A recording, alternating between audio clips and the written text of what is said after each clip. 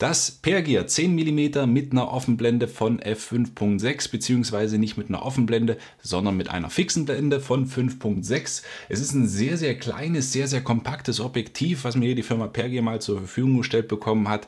Es ist komplett aus Metall gefertigt, hat keinerlei elektronische Kontakte, sprich es ist ein rein manuelles Objektiv.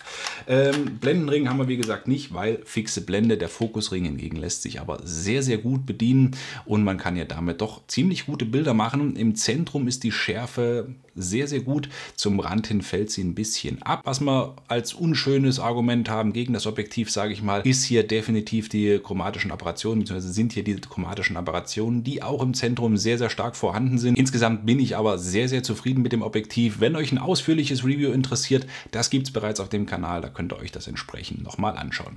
Kostenpunkt 79 Euro. Wer schon mal ein Fisheye-Objektiv ausprobieren wollte, der hat jetzt die Möglichkeit dazu.